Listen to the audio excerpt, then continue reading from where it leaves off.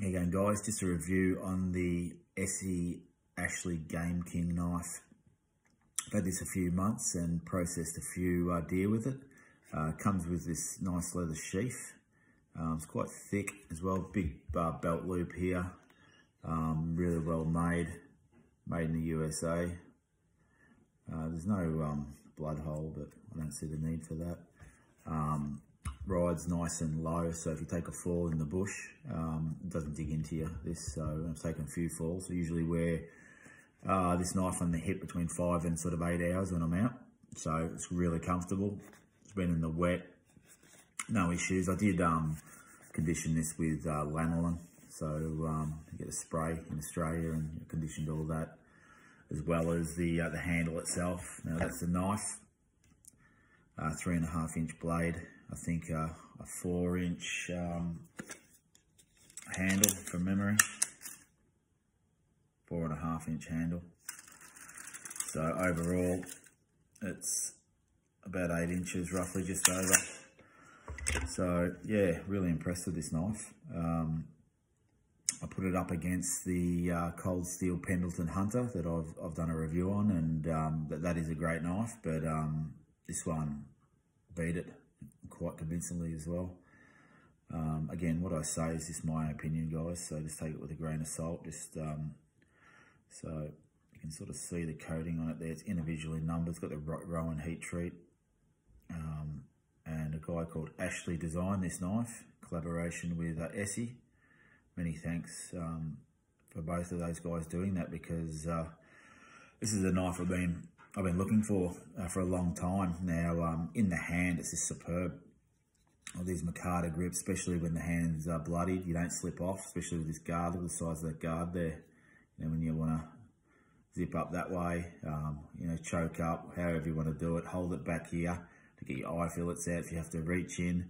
Um, it just worked in every way. Now the 1095 steel held up superbly uh, for one large deer, which is equivalent to uh, about an elk in the USA.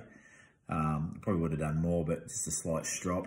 Uh, I just use this strop here um, and just a bit of crayon here. So yeah, five minutes, it's pretty much done. So it's popping hairs again. So um, spine thickness, I'm not sure about the thickness or the weight. You guys probably have to look that up. I'm, I'm not that technical with the uh, the weights and the um, spine thickness on the knives, but yeah, just absolutely um, superb knife. Um, even the way it's shaped here, you can see the design of it, um, the point, it sort of meets in the middle. So when you're, you know, going up that way, um, the pop the, uh, pop the belly open to remove the um, the organs, um, it doesn't pierce. You can pierce it if you if you if you're not careful, but it's a lot better design than say um, the Mora, in my opinion, as a as a, a pure quartering, you know, um, skinning knife, but this this is a great knife. I uh, wouldn't sell this one. This I keep this in my pack. It's light and it's it's just it's a beautiful knife. It's sharp. It's the Mora C carbon version. Um, so that's three and a half inch blade as well, which I prefer these days. Just quickly while I've got it here, that's your Canadian uh, four inch blade belt knife. Um, really good knife. That stays in my pack as well. So that and the C. Uh, they're my two backup knives, light. Um, this is uh, exceptional um, design. Uh, it's four inch, um, but it doesn't feel like a big knife, just the design of it. It's, um, I think I'm going to um, get a Knives of Alaska Yukon in a similar design, test that. So um, another knife to compare while we're here is is the uh, Blackjack 125 Heavy Hunter. This used to be my go-to knife for years and um, it's, it's, quite a good knife, but I did, I just recently sold this. Uh, I'm going to move it. Um, when you compare, you know, this knife here to this knife here, it's evident, well, for me anyway, um, it's just, it gets hung up here as well. When you're, uh, it's a great knife though, this one, don't get me wrong, and it's A2 steel, um, leather stacked handle, you know, bark river knife. So it's, it's a good knife. I'm not wild about the convex edge. You know, that some guys might balk at that, but I just like my V grinds like that. Um, happy with the V grinds. Um, Scandi grind, I think this one here, I think it's similar to a Scandi, isn't it? Or, or very close. Um, so that's good as well. And yeah, same with your Canadian belt. They just strop up so easy. That was really easy to strop up. All of them are really easy to strop up. This this one, obviously, with your convex um, probably a little bit, um, holds an edge, but yeah, I'm not, I'm not, really a massive fan of convex edges, but a lot of people are, which is um, a good thing. Um, you can remove these handles uh, by the looks of it. I haven't. Again, I sprayed all this with lanolin in sort of in here as well, so it just protects it. So yeah, I can't see um, this being an issue, but um, yeah, I processed three animals so far, three big deer. Uh, did it did it very um, did it very fast, and uh, it's very it's a very quick um, handling knife. Um, it's safe as well. You just feel secure with it. It feels comfortable. There's no hot spots. Um, again, you know, uh, even holding it sort of and, and zipping it this way, um, you know, it's uh, worked a treat. Uh, getting right up here, sort of, you know, into the areas, back straps coming around. It, it, it was fantastic. Um, again, about, about $200 Australian uh, for this knife. Um, and again, it comes with that beautiful leather sheath. So traditional guys will like the, uh, you know, like the sheath. Um, ESEE a great company and it's backed with a, a lifetime warranty similar to uh, Leupold warranty. Um, no questions asked. If you damage it, break it, they'll give you a new one. So um, yeah, yeah, again the specs, three and a half inch blade, about a four and a half inch handle.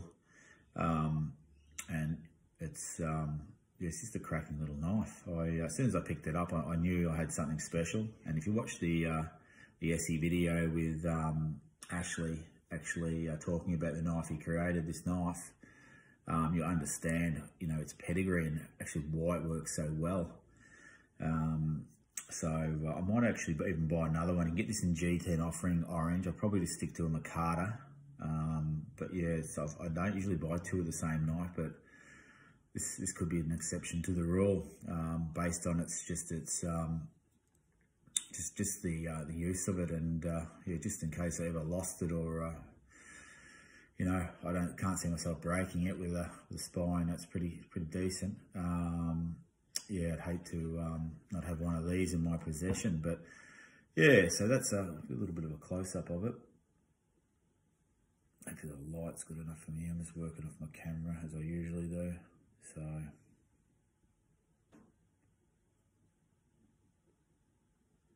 Yeah, it's nice um, wording as well. I love it how it's um, individually numbered. That's uh, that's impressive. More knife companies need to do this. Um, it feels a little bit more, uh, a little bit more custom. You know, a little bit more unique. I've just added this here so I can see it in the bushes. Paracord, orange paracord. Um, another thing is I'd like to see knife companies add, you know, um, grippier handles like um, Micarta or grippy G10, like Strider G10 is quite grippy um, or what Cold Steel use on their Pendleton Hunter and their Master Hunter, which is, is, is amazing.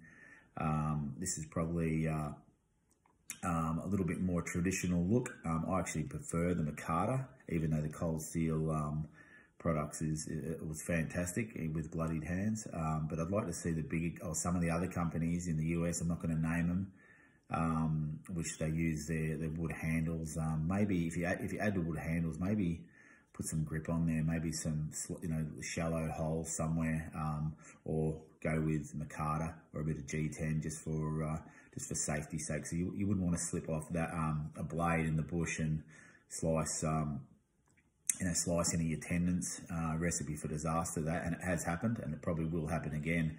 It can happen on these knives as well. You just got to be careful.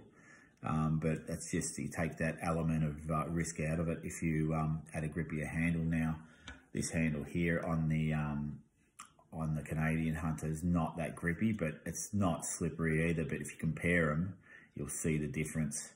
Um, and the Mora, uh, this is it's, Mora's done an excellent job here. That's really tacky. It's hard plastic here on that bit there, but it's tacky here.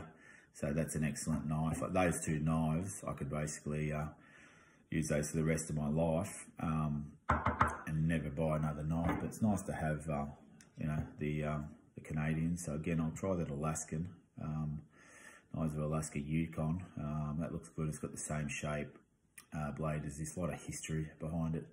Um, I wouldn't even mind trying the Bark River um, Canadian view there, but uh, again, um, I'd love to see them add a little bit, a handle that's maybe like like this one here. Um, you know, love their products, Bark River, amazing knives, but yeah, um, there's guys out there like me that want, you know, handles that are slightly different. So maybe maybe look at that, guys. Um, just just a su suggestion. So, um, but other than that, um, yeah, if you've got a spare 200 um, and you're a deer hunter or a hunter, go out and buy one because it was actually designed uh, for, for the purpose. You can probably use it as a bushcraft knife as well. Um, again, I carry this on the hip, so um, it works well, very comfortable. Okay, guys, take care.